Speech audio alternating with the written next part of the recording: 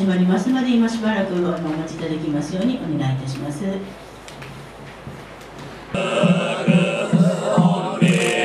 東大寺一党慎んで三方を報ずる。そうだな。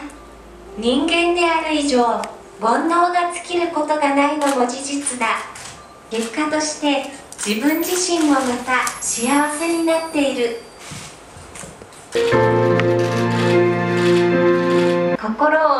こだわりのない空の状態にしながら相手に寄り添っていく。